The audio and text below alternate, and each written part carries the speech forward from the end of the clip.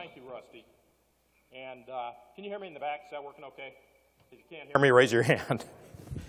Great. So let me start by thanking the Marine Technology Society, IEEE OES, for coordinating and continuing this important tradition of the Oceans Conferences. And let me give specific thanks to Rusty and Jim for your leadership with respect to this conference, and also thank Ray and Renee for your leadership. I have what I think is the rare honor of being able to say, I think, I am the only former president-elect of the Marine Technology Society.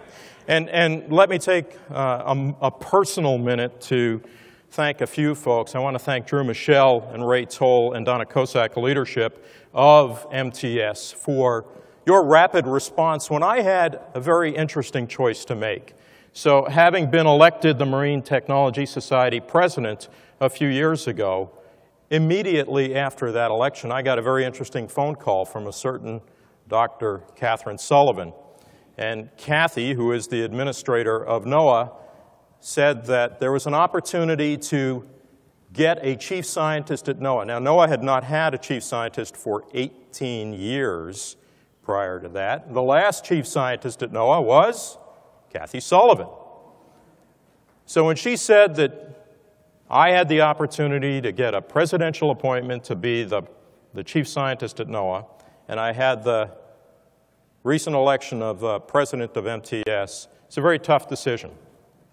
And hopefully what I'll be able to do here today is to show you the kinds of things, knowing that we had a roughly two and a half year period left in this administration, the kinds of things that we could do through the Office of the Chief Scientist at NOAA that are completely consistent with the missions of MTS and OES. And so I thought maybe we can, maybe I can have my cake and eat it too and try to work on some really critical issues. And that's why I am excited today, especially to be able to follow Dr. Gallaudet. You heard from the Admiral some extraordinary connections between marine technology capabilities and national security. What I'd like to weave into that discussion is a little bit, maybe a lot, of the element of how we can do the same thing for economic security throughout the world. And the idea there is that there is a potential new blue economy that this audience can help drive, that we can help define. So to set this up, let me put it in a little bit of historical context. Over 50 years ago, the National Academy of Sciences, the National Research Council, put out this report, Economic Benefits from Oceanographic Research. Now, recognize this was 50 years ago. So we were looking at the oceans as effectively as an infinite resource and that there were extractive opportunities. We could do more fishing, we could do more oil and gas, we could do more uh, aggregate extraction. And so there was this sense of the ocean as being something of a cash cow, if you will.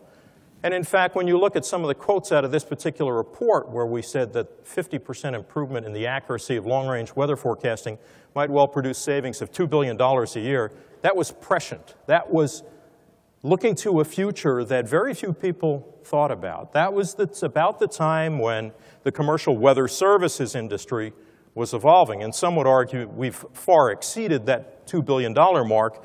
And of course, the implication is that the improvements in long-range weather forecasting would depend critically on having ocean observations and ocean technology at the center of that capability.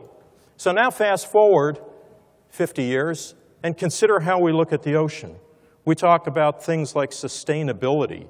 We talk about ecosystem services. How much value is there in the ability of the ocean to serve as a sink for many of the pollutants? How much value is there in terms of the ocean to provide our oxygen that we, uh, that we breathe? Ecosystem resilience. We talk about economic resilience as well. But the point is, all of these studies that have been conducted, which are represented by the front pages on the left, lead us to believe that rather than a product-based economy, which will still continue to flourish oil and gas, fisheries, aggregates. It's going to churn along at its own pace. Maybe there is an information based economy that we can be developing around the oceans that is critically dependent on marine technology. And that's at the heart of this new blue economy. Now, the reason I characterize the new is there's a lot of discussion about blue economy. If you Google blue economy, you will get several thousand different definitions. And I want to make sure as we proceed forward that you understand what I'm talking about is this information-based, revenue-generating kind of economy that's based on the capabilities for forecasting, for prediction, for nowcasting, for hindcasting, for forensic applications. So how's this going to play out? Well, as a NOAA guy, I look at this as a critical component of what we call the environmental intelligence portfolio. So intelligence being the timely, accurate, reliable provision of information that can be used to do any number of things. You heard great examples from Admiral Gallaudet of the intelligence value for national security to give us that warfighting edge. And I would argue there is a similar component to intelligence that addresses the resilience in terms of social resilience, economic resilience, ecological resilience, and that there is a big business bottom line associated with this. You take that onion and peel it back the next layer, and what we're talking about is this kind of economic enterprise. And I credit Ralph Rayner, who's done a wonderful job in framing a lot of the thinking about the economic sectors and economic development. The providers are basically those who have the sensors, the platforms, the models that assimilate those data, that kick out the observations, kick out the data, kick out the initial forms of information. The intermediaries are those value-added service providers, the retailers, some might argue, of those products of the observations. So the intermediaries would be the ones that say, let me take something that's been produced at public expense, so the government provided products and services, add some value to that for a particular market of end users. So tailor that product that's been developed in a way that there may be a profit margin, there may be a clear element of resilience associated with it. That's how we're going to try to get to this new blue economy. And there's some key components to that. You got to have the currency of the realm. The currency of the realm is the observations and the data that are being produced. And I would point out, take a look at an oceans conference from 20 years ago. Scan through that and look at what kind of sensors and platforms were being developed back then, and you get a real sense of how far we have come in terms of observational technology, in terms of sensors, in terms of platforms, in terms of our ability to monitor, that is to say, sustain observations. Just look at something like the Argo float system and conceive of how much information and data we're getting from a system like that. So we're well primed in terms of the observations, and I would argue, in fact, that a really good example, which many of you are participating in and involved in and can hear more about if you don't know enough about IOOS, the Integrated Ocean Observing System, we now have a capability we didn't have 20 years ago for operational observations being fed into the grand databases that we rely on. So let me go back and point out that's pretty much, a, I would argue, a well-in-hand enterprise. The parts that really need some clear work, and there's a lot of initial efforts in this, are the market analysis, the risk analysis associated with those markets, and then the investment. Don't count on the federal dollar to necessarily make that investment. But where are the investors? How do we get this community and this audience engaged with the venture capital, the angel investors, to start getting to where we need? Well, part of it is making the compelling case analysis. Part of it is making the compelling argument that says this is where you're going to see a return on that particular investment. And in order to do that, we're going to have to demonstrate success thus far in how we've worked this emerging new blue economy. So I want to take a little bit of time and give you five case studies. And these case studies are specifically called out because they represent a pretty broad diversity of economic sectors, a pretty broad diversity of opportunities, a very broad diversity of data types, sensor types, observational types. And these are the kind of things where, again, one could argue, well, gee, my tax dollars are already going to support these things. Yep, they are.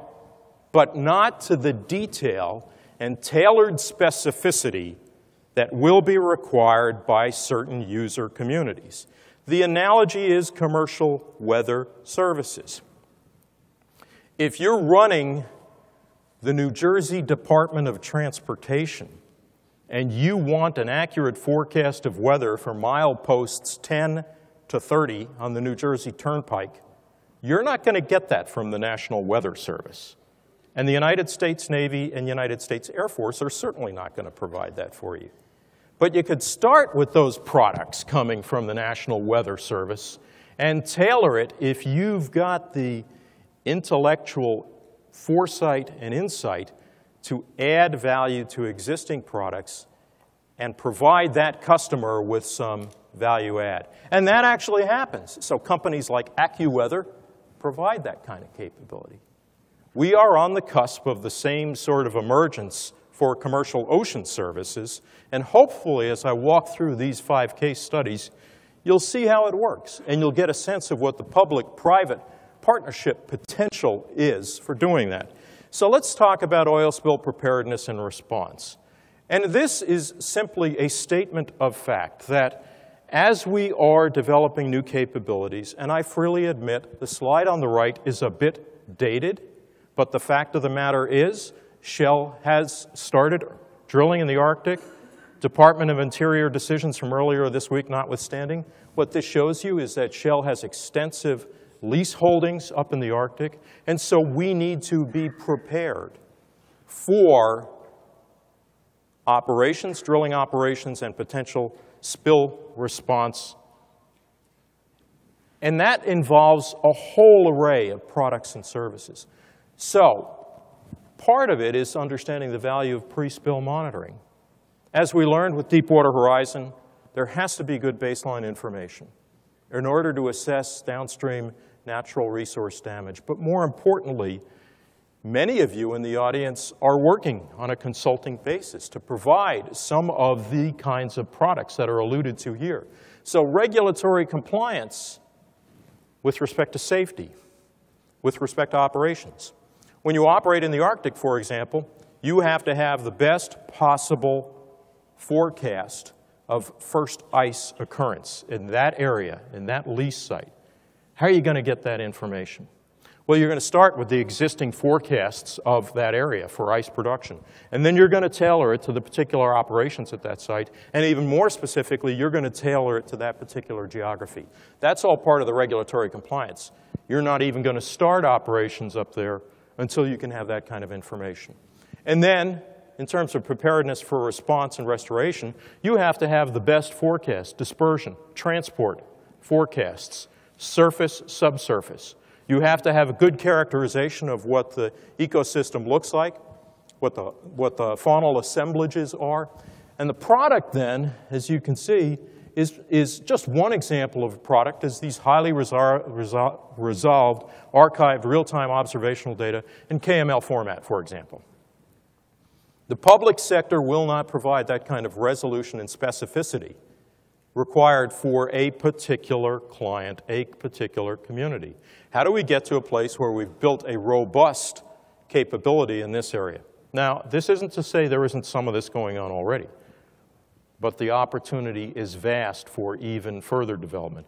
And it's a real buyer's market in the sense that if I've got a better proprietary forecast system than you, I'm going to get the edge. I'm going to get the economic uh, benefit of being able to outcompete in this area. Let's talk about another example. This is one of my favorites as an Oregonian. This is one I'm very familiar with.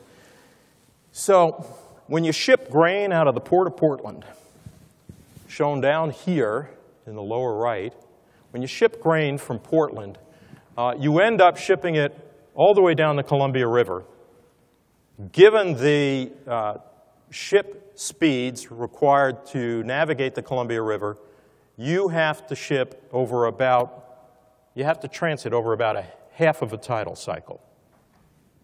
Now, Oregon also gets a lot of rain.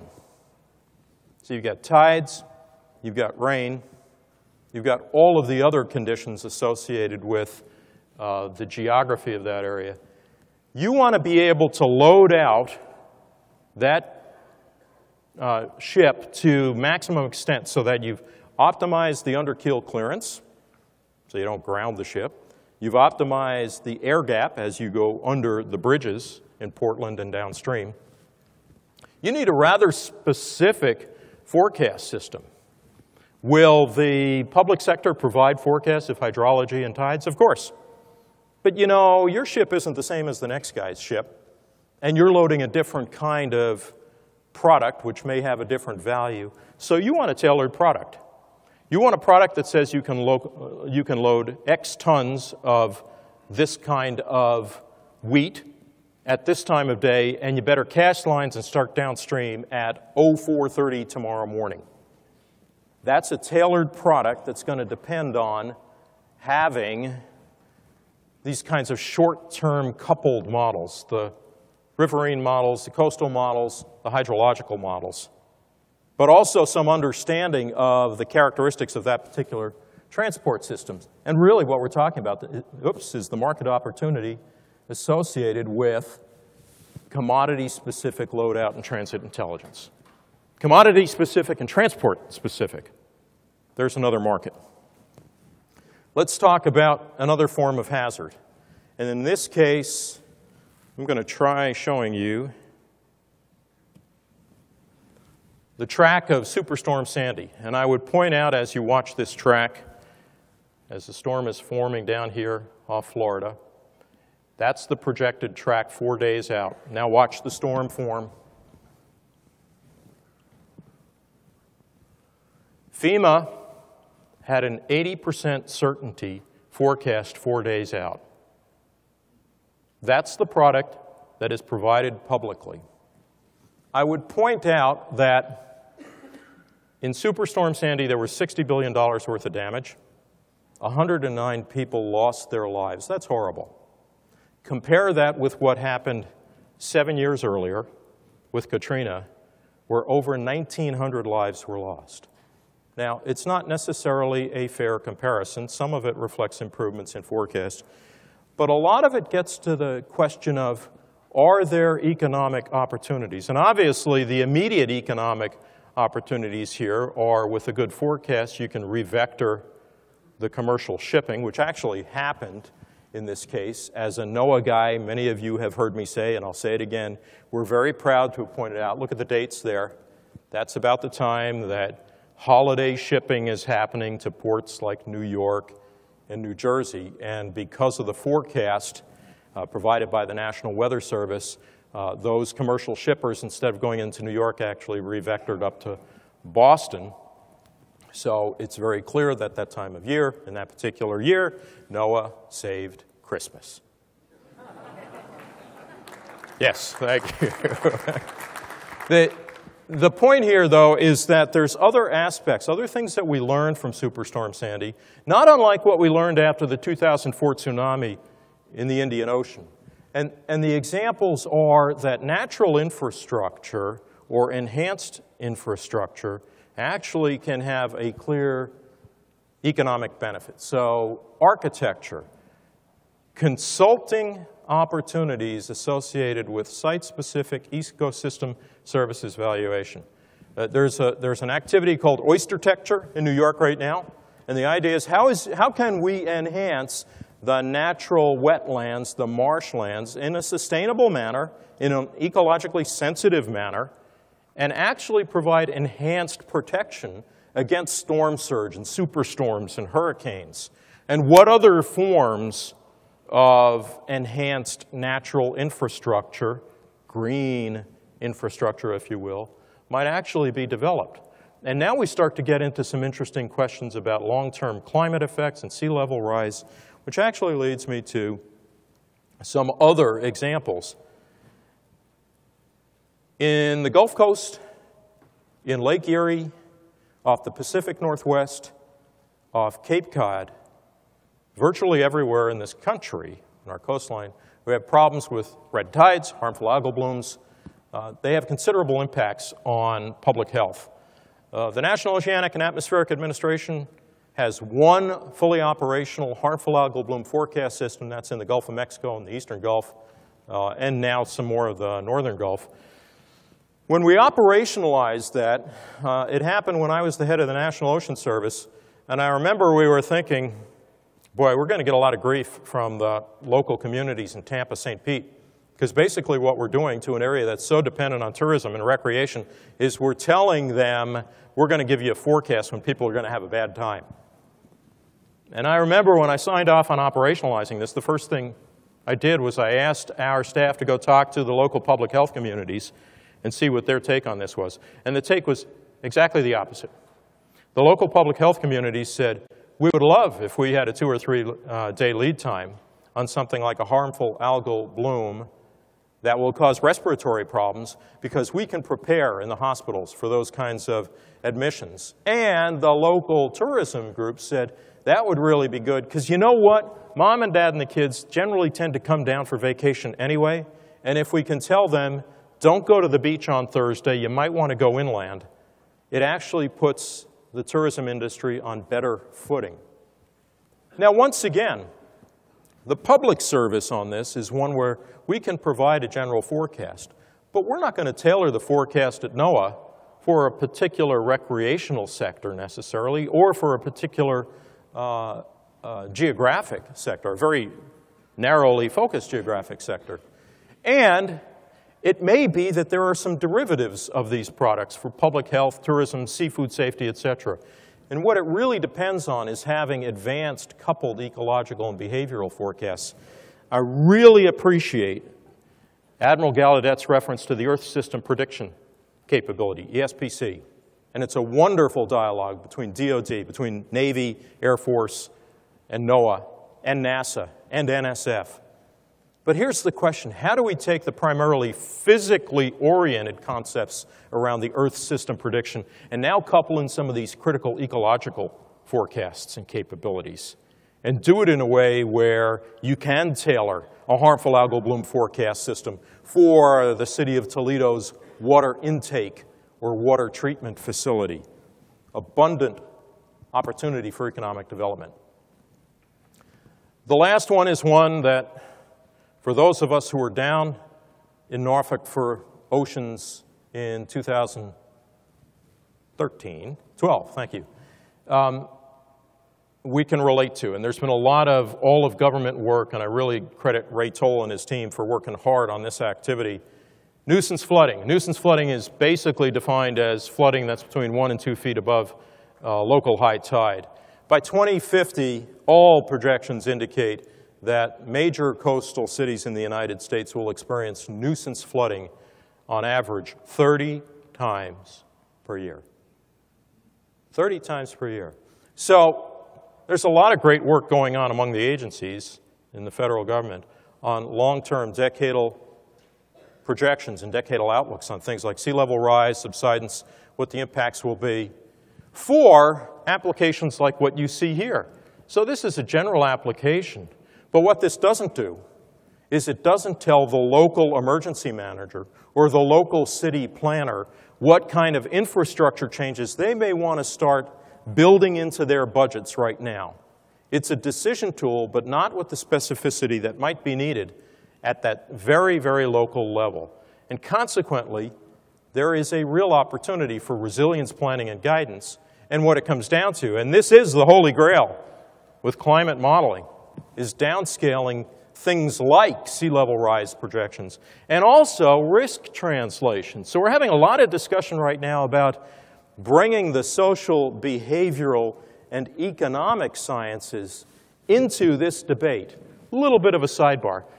We are very proud at NOAA of the fact that the average tornado warning has now gone up to about 12 to 15 minutes. That's really wonderful news. It's, a, it's an extraordinary example of good scientific research technology development, use of new radar technologies, for example.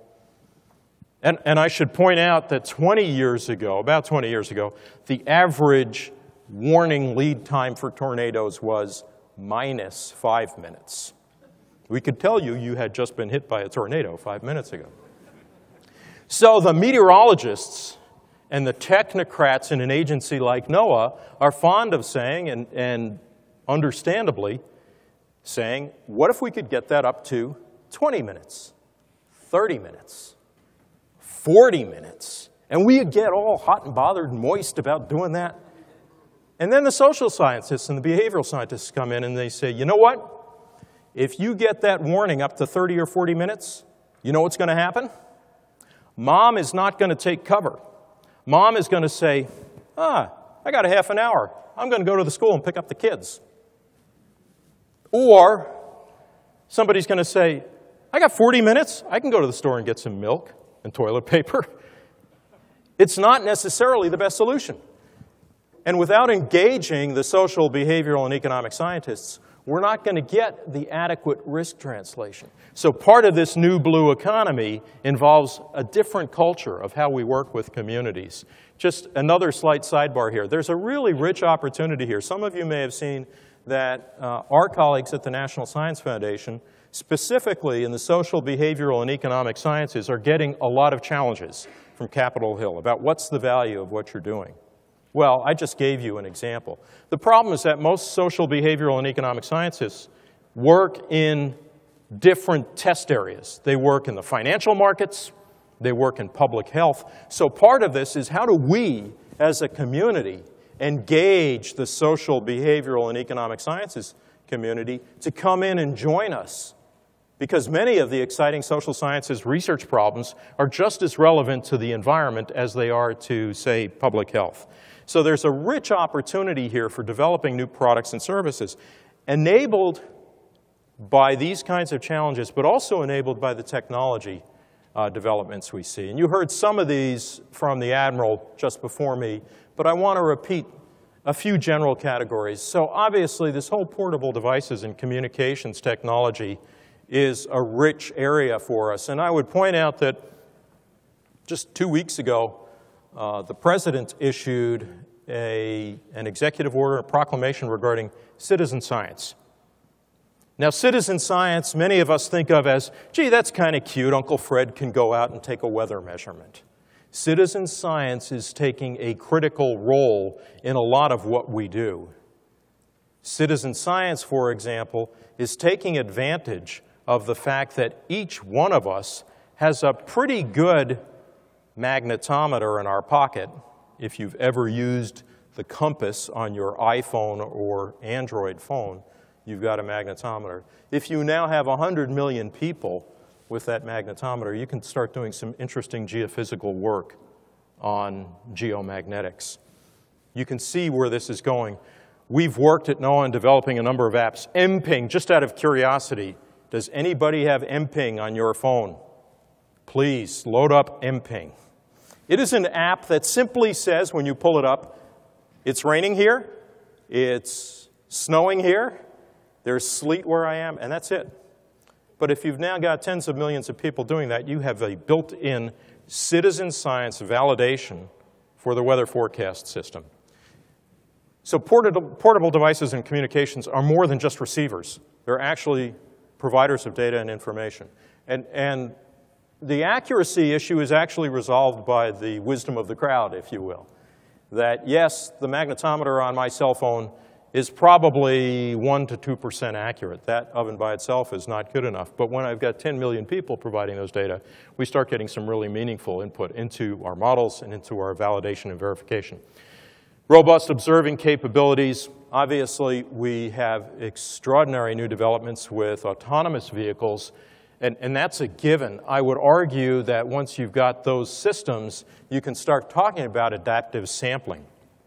You can start talking about having pre-positioned platforms, as is being done right now, for example, by the National Science Foundation off the northwest coast to look at volcanic activity. So you've got underwater vehicles, you've got UUVs basically sitting there waiting for volcanic activity, and they can start sampling, communicating with each other, uh, and relocating as necessary as well. The adverse environments is clear. Uh, how are we going to start taking samples with the, the sort of dull, dirty, and dangerous aspect of making observations under the ice in the Arctic, as long as there is, as there is ice in the Arctic, uh, under the ice in the Antarctic, under the ice shelves down there. Uh, we at NOAA last year launched for the first time ever a small uh, drone into a hurricane so that it could penetrate the eye wall below 1,000 feet. We're not going to fly our P-3s at 1,000 feet through the hurricane.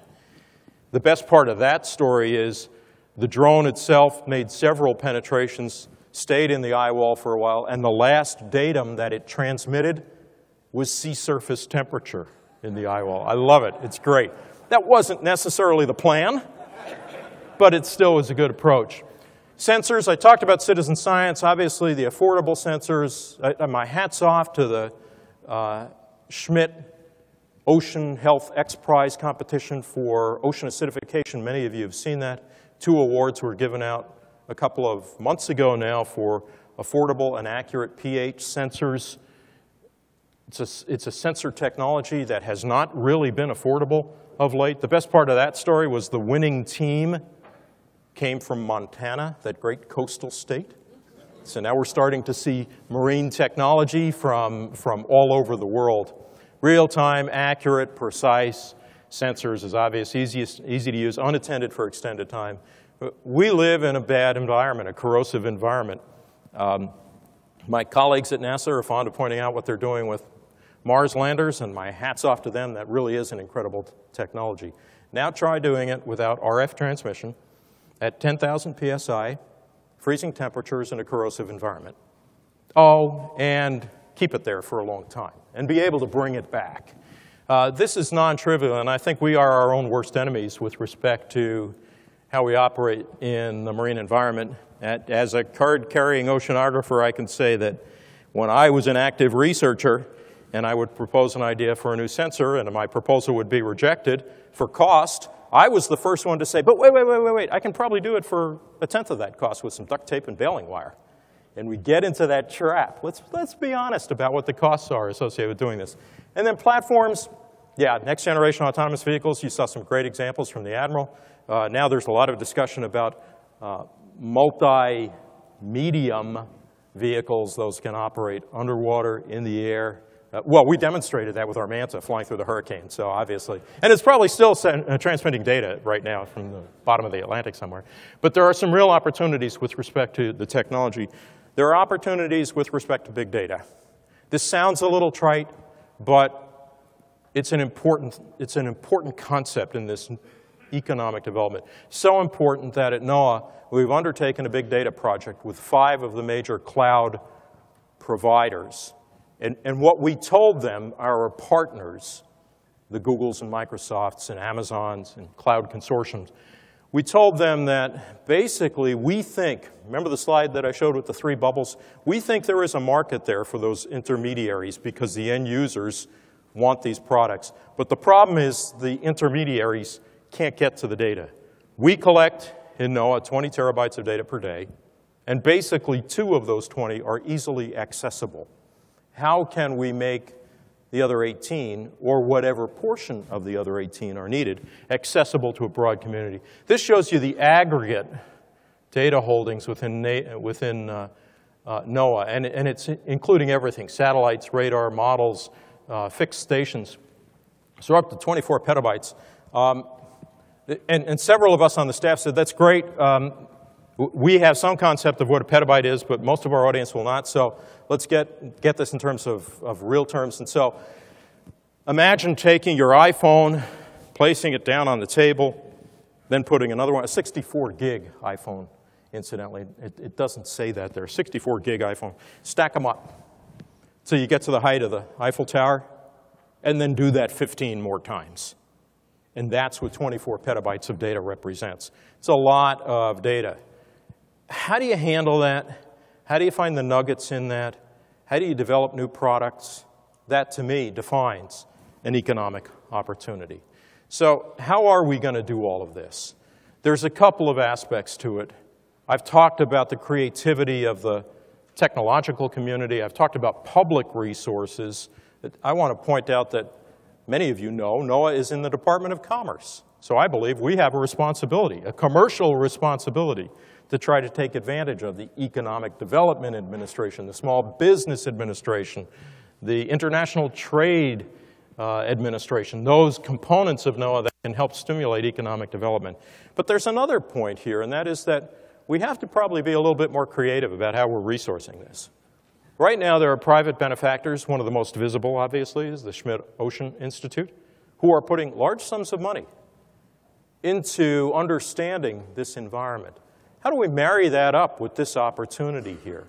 How do we compel those private benefactors that stimulating an economy like this and developing new products is worth doing? Crowdsourcing I talked about, that's a new resource, a new way of doing that. And I don't mean that in terms of Kickstarter going out to try to get 10,000 bucks to do an experiment. I'm talking about the data uh, collection aspect of it. There's also some very interesting discussions, and, and my hat's off to people like Congressman Sam Farr and Senator Sheldon Whitehouse, who have talked about the possibility of the federal government investing in something like an ARPA OA, Advanced Research Projects Agency for the Ocean and Atmosphere. That's a long way. That's a tough pull. But it's only going to happen if an audience like this makes the compelling arguments. And I think that the, the attitude for that, or the palate or appetite for that, is really quite strong right now. The important closing concept is that this market that I'm talking about really is global. Nothing that I've described. I've used U.S. examples throughout, but it's not a U.S. specific kind of issue. This is a global economic opportunity. And the opportunity is very clearly oriented around service basis. Build on the current recognition of tangible product based economy and use that same kind of algorithm to build a service economy. It's an information dependent economy. We've never been as rich in the information about the ocean as we are right now. So bad on us if we don't exploit that, literally in the best interpretation, in terms of the economic opportunities. And the lifeblood of what I'm talking about here is that it's about predictions. And not all predictions are about the future in spite of what Yogi Berra might have said. But I'm also talking about nowcasting. I'm talking about hindcasting for forensic applications. I'm talking about long-term forecasting. I'm talking about short-term forecasting. These ideas are not really all that new. And our colleagues overseas, particularly in Europe, have made some great strides in developing this. So the Copernicus system, which is the evolution of the various forms of MyOcean over the last few years, which is uh, run by Mercator, represents, and funded by the European Union, represents an extraordinary example of how to start taking these products. Copernicus represents the efforts of some 60 institutions throughout Europe. It's a really good example that we should look at that we should try to build upon and expand upon in terms of public-private partnerships, in terms of economic opportunities, in terms of developing products. I love what's happening with Copernicus. It's just the tip of the iceberg, in my opinion, in terms of new product development. So where are we going to be? Sometime in the future, in the new blue future, you'll have the kind of capability at looking at economic markets as broadly defined as investment in ocean catastrophe bonds. There are cat bonds right now. How can we help interpret the risk associated with ocean cat bonds? Ocean energy products in terms of siting, in terms of optimization of applications, and in terms of safety of operations, there is an economic market there. O ocean forecast derivatives, remember my example of the New Jersey Turnpike? Now start thinking about that in terms of commercial shipping. Start thinking about that in terms of the forecasts that might be used for recreational fishing. Start thinking about that in terms of public safety. Natural infrastructure management, every coastal community is going to want to have the best advice possible with respect to long-term investment in infrastructure. And, and we've gotten kind of gimmicky here to point out that we really should be talking about futures, ocean futures in each of these areas. And remember that in 20 years, we will have an opportunity to start accessing this kind of information using whatever, I guess that'll probably be about the iPhone 12 by then, we'll be using to access this kind of information. So in, in summary, I just want to point out, I think we are on this incredible cusp right now. I think this community is in the center of it, and I really believe that there is a thirst for a whole new class of products and services. And I hope that in a few years, as we meet oceans, we will be looking back on this conference as a seminal point that helped to define what this new blue economy looks like. Thank you very much.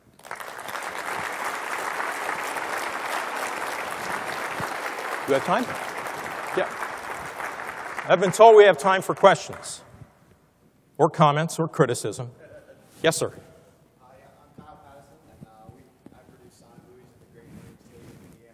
Right.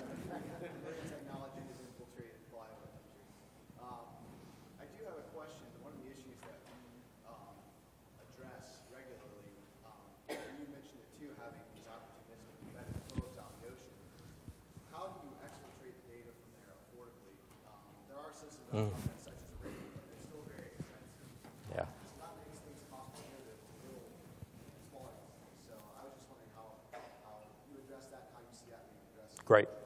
Thank you, Kyle. So Kyle's question from the great state of Indiana was, um, with these advances in platforms and sensors and an abundance and proliferation of these out in the open ocean, how will we uh, handle the exfiltration of data?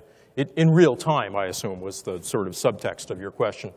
Um, in light of some of the costs associated with that, it, it gets to um, the first question that was asked of the Admiral with respect to technology. I happen to believe, I've been in a number of briefings recently where I was pretty excited a few years ago when I heard about microsats, CubeSats. Uh, we're now talking about uh, nanosats and picosats. Picosat is the size of the end of my finger here. Now, uh, space junk notwithstanding and the traffic patterns associated with that, what we are starting to see is very low energy data transmission, not oriented towards our community so much, but obviously the intelligence community, uh, and there are a number of commercial markets associated with geospatial information which are taking advantage of that. So in much the same way that we look to Iridium or Service Argos or even the polar orbiters that, that are operated for weather purposes, there's a communication uh, niche, data communication niche associated with the nanosat and picosat technology. And my prediction is that, I, I, mean, there's one company right now out there that's saying that within just a few years you'll be able to get, I, I believe it was one meter resolution uh, uh, imagery updated on a daily basis for the full globe because there'll be so many of these satellites out there. That, that is phenomenal stuff, and, and, the kind of stuff that I know makes the Admiral go apoplectic when you think about the security implications. But from a data uh, perspective, I think we'll be able to ride that trend for data access. Uh, there really is no other way to do it. There's some thoughts about using unmanned aerial vehicle, vehicles in local areas. Uh, that could be a solution as well with data relay kind of capabilities. I think that's a Band-Aid fix. I really think it's about the small sat uh, approach. Thank you for that question. Yes?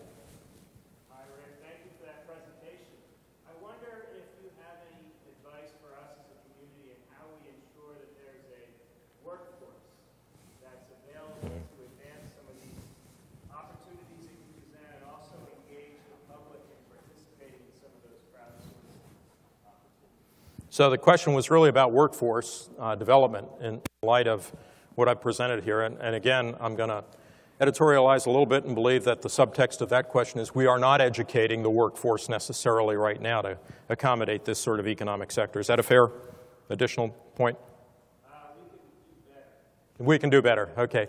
Um, I, interestingly, I just finished a, uh, a paper. It's been accepted for publication with a few of my colleagues. Some of you know Mel Briscoe uh, Jim Yoder, who's a VP at Woods Hole, uh, Sue Roberts, who's the executive director of the Ocean Studies Board. And, and our argument was that the current educational system is not tuned to what I was talking about here. There are exceptions. University of Rhode Island has a blue MBA program in the Graduate School of Oceanography where they are teaching grad students about entrepreneurship, innovation. Um, I know when I went through graduate school, I couldn't spell IP, much less tell you what it was. Uh, so part of this is uh, changing the motivations within the graduate system, uh, changing the reward structure. Federal agencies can do that. Uh, I believe one of the things we could do in the federal agencies is put a little bit more emphasis on things like the Bayh-Dole Act, where research is actually required to be commercialized or an attempt made to commercialize or operationalize piece of research. We don't tend to push that aspect of our grants and contracts programs. So I think the educational system needs to build a whole new set of reward structures. There need to be formal programs like the Blue MBA program. Um, and then I believe that there, the federal government needs to be a little bit more assiduous about uh, emphasizing the commercialization and oper operationalization of the research that we do support. Thank you. Yes? Hi, Todd.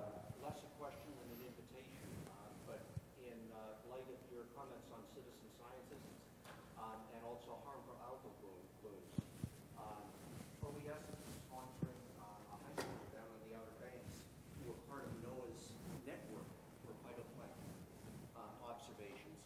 They submitted abstracts to this conference, and there will be three papers presented by the high school students Thursday morning.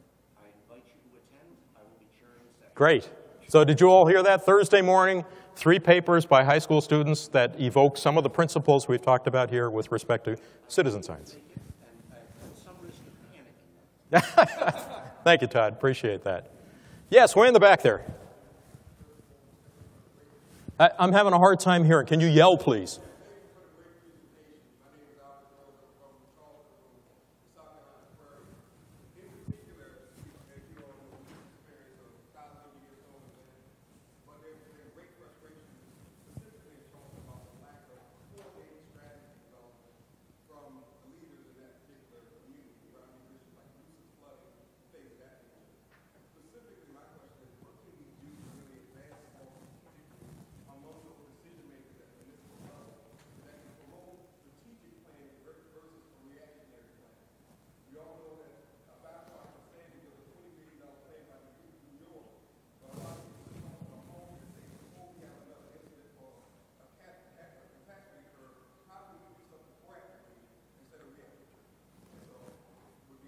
Yeah, so thank you very much. The question is really about strategic and proactive engagement at the national, local, community level uh, with everyone from emergency responders to local uh, jurisdiction oversight uh, to be prepared uh, and, and, and not necessarily wait for the events to respond. Am I characterizing your question appropriately?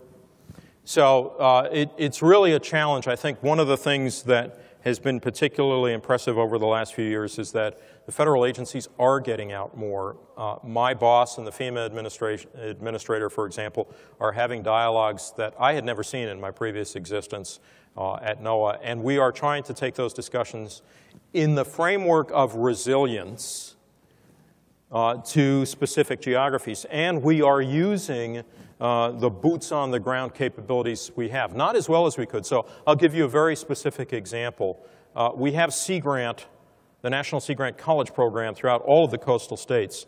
Uh, those folks, the Sea Grant agents and the Sea Grant College programs, have uh, terrific connections with exactly the people you described, local emergency managers, local mayors, city councils, uh, county emergency uh, folks, how can we take uh, groups like Sea Grant or extension agents, if we're talking about the Department of Agriculture, uh, and use them to advance the dialogue a little bit more? The other thing is, one, one uh, very impressive thing that the White House has done of late is have a series of dialogues and discussions with those communities about what are the products that you need. Uh, there was a terrific discussion just four or five months ago with all of the tribes around the na uh, nation regarding uh, tribal specific problems and concerns, mostly related to climate change implications. So a part of my answer, and I'm having a hard time giving you a response with my hands in my pockets, part of the answer is an extended dialogue.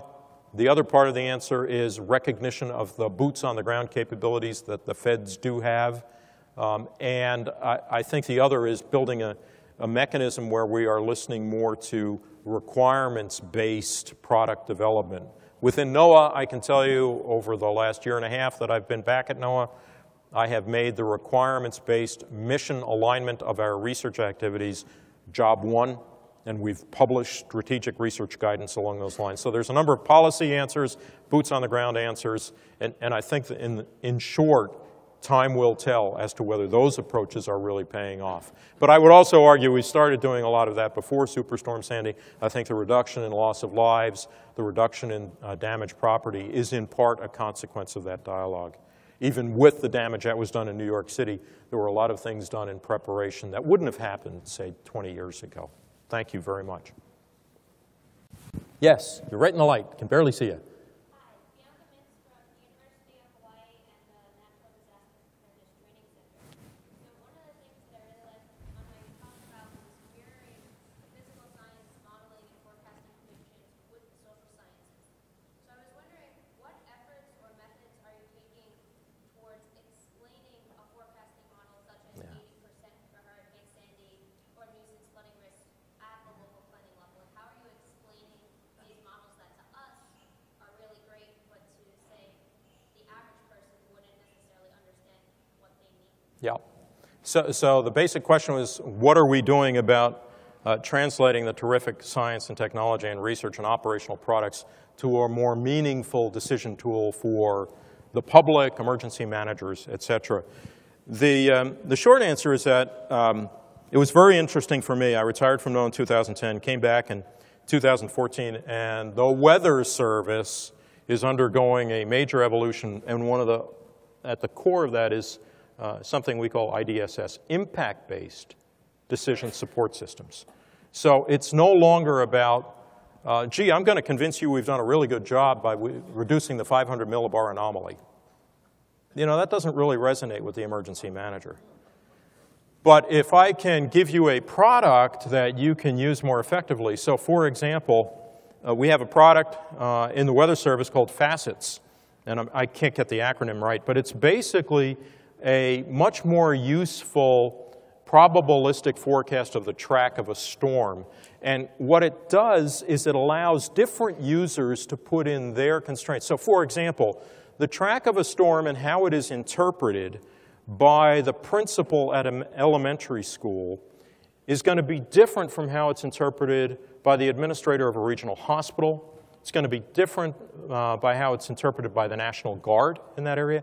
And so being able to recognize those, those different boundary conditions and be able to say, I'm a high school principal, I'm going to look for this. I need uh, 12 hours notice. Uh, somebody else may, may be able to respond much more quickly. So we're recognizing that there isn't this sort of cookie cutter user community, but now we can tailor products accordingly. One caveat on that, and that's where the history of the Weather Service is one we need to take very carefully when we look at what I describe here in my talk, and that is the public-private partnerships. There's been a lot of friction between commercial weather services and the National Weather Service.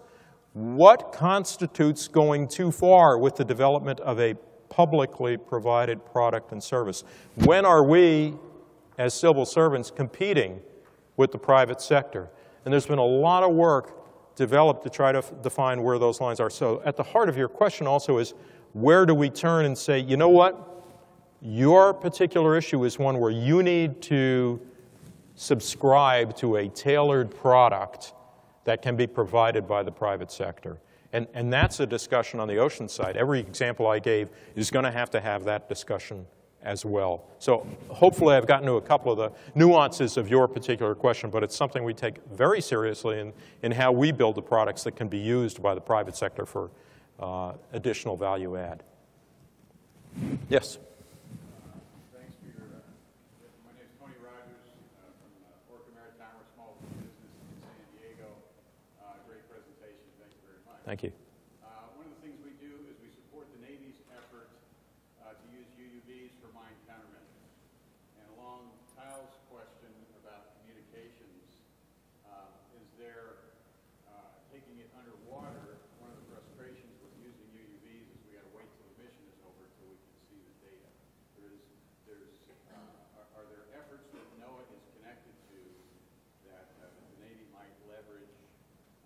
get more immediate feedback from what's, you know, what, there's, there's great efficiencies using a UUV, but I like a code system because I get a waterfall right now. What, what through the water bandwidth improvements are being uh, addressed? So the first thing I would say is that having worked as a civilian for Navy for most of my government career, um, uh, I came into this job with some sense of understanding of what Navy is working on. And the first thing I'd say is the dialogue between Navy and NOAA on issues like this is robust. Uh, that doesn't mean there can't be more dialogue, but uh, your question was about the things that NOAA might be working on that could have value for Navy. And uh, I would argue that there are a number of experiments that we are conducting in the use of uh, surface, unmanned surface vehicles. You saw examples in Admiral Gallaudet's presentation. Navy is working on some of those same things. Uh, what we're doing is trying to use those for, uh, you can imagine using an unmanned surface vehicle for station keeping is a lot more cost effective than having a cabled uh, sensor in 4,000 meters of water or cabled uh, uh, buoy, fixed buoy. So uh, we have used some of those technologies with our tsunami warning system for data relay in both directions. We've shared our results in that with our colleagues at the Office of Naval Research, for example. I'll be going down to NAVOceano here very shortly to try to address your specific question. I'm actually going down there mostly with my suitcase empty so I can come back with good stuff as opposed to me going down with a suitcase full of NOAA stuff. Um, but I think there's, there's a robust enough dialogue there. But the unmanned surface vehicles is a key part of it. When I talked about the relocatable and adaptable kind of uh, fleets of unmanned vehicles, one of the real uh, challenges for all of us is in the swarmed unmanned vehicle approach with adaptive sampling and adaptive data transmission because sometimes, yeah, you do want near real-time transmission. How are you going to do that? Got to have a surface vehicle up there. Uh, there's some very interesting work with uh, uh, microfiber optics as well, effectively disposable, uh, multi-kilometer length fiber optics for data transmission. That's another opportunity that we can pursue collectively as well. Thank you. I'm happy to take questions. Just cut me off, Rusty, when you want to cut me off. Yes. Okay, and then I'll go over here. Yes.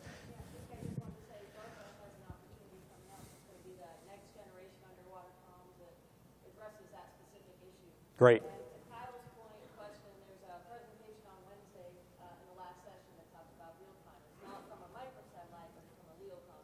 Great. Thank you, Donna. That's why we have presidents-elect, MTS. Yes, yes. Thank you, Dr. Spinrad. Um, my name is Whitney Bernstein, as you know, and um, I'm hailing from um, MIT Woods Hole as an oceanographer, but having previously served as a NOAA Sea Grant Fellow on the Hill. Um, I have a question about um, the important NOAA data products that you've been talking about as the basis of the economic opportunities that you've listed. And, um, and the role of this community, especially those uh, here in the United States, in communicating with uh, their representatives, the importance of these data sets and NOAA tools um, for their um, entrepreneurship and um, technology development in, in, in meeting these markets. And also, if you could comment on the role of government in helping bridge the valley of death in, um, in actually realizing these technology solutions and bringing them to market. Thank you. Thank you, Whitney. So, Rusty, I have another two hours. Is that right? Okay. Um, let me let me address this sort of community international perspective, and if I've got your question right, how are we trying to stimulate the same kind of thinking through access to the information and products that an agency like NOAA has for international economic development? Is that what you were getting at? I was asking about continued government investment in the, um, in the data products. Ah, continued government investment in data products. Well, yeah, that's going to be driven largely by the mission. So don't forget, uh, all of the agencies, with the exception of the National Science Foundation and NASA in the federal government, are really mission focused. NASA has kind of a quasi mission focus, but we have to focus on the NOAA mission responsibility. So we will continue to develop data products, but not every data product that you want. It's going to be those that are uh, primary, primary for the mission priorities of the agency. And on one of my slides, I showed you what some of those are, community resilience, evolving the weather service. Uh, those are examples of what we're trying to do. Um, and with respect to the Valley of Death, uh, I can proudly tell you that within NOAA, what I have done is stolen shamelessly from the best case examples at both DoD and NASA. So NOAA is on, in the process of developing a robust resource and process for what I call R2X, research to uh, operations, research to applications, commercialization, utilization, and it involves applying uh, the rigor of what NASA defined as the technology readiness levels, TRL. In NOAA, we will have readiness levels that parallel the NASA invention, and we are going to try to emulate the DoD 6.1 through 6.7 structure of funding so that we can effectively build a 6.4 account, which is for Navy a transition account. See, the Admiral has a responsibility and a capability to look what's coming out of the tech base at the Office of Naval Research and say, that needs to go into the fleet over here. We're building a resource to do the same thing. We're in the midst of trying to convince OMB and the Congress that this is the right way to do things. Um, and all responses thus far are very positive. and I'm hoping that within the next year I'll be able to say a little bit more about that. Thank you very much.